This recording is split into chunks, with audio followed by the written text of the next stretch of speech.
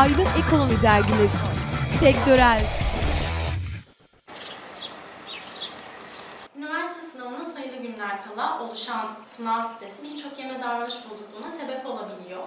E, stres ile gelişen bu durum kabızlık, mide bulantısı, baş ağrısı ve birçok beslenme problemine neden oluyor. Peki sınav döneminde adaylar nasıl beslenmeli ve bunun için ne yapmalı?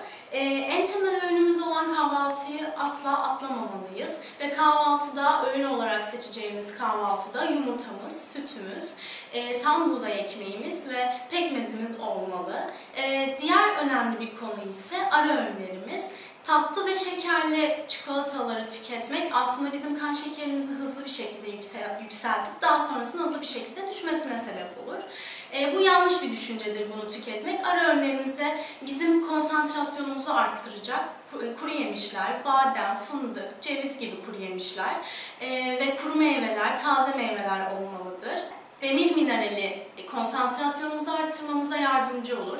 Demir minerali içeren besinler ise kırmızı et, yumurta, balık ve e, ceviz bizim beslenmemizde mutlaka olmalı diyoruz. Öğünlerimizde bunları tüketmeliyiz. İçecekler bu dönemde aslında sürekli kahve, kola ve kafein içeren içecekleri içmeyi yöneliyoruz ama bu yanlış bir düşüncedir.